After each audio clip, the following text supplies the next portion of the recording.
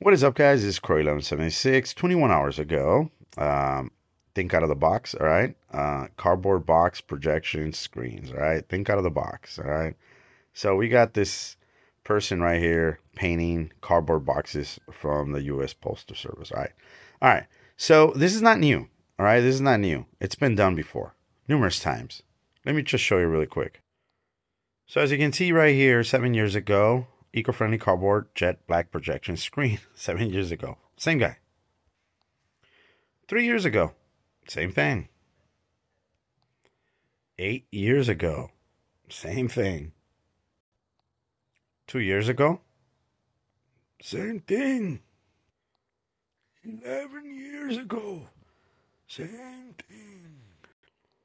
So overall my opinion is it's a scam guys. It's been done already give it up. You're done.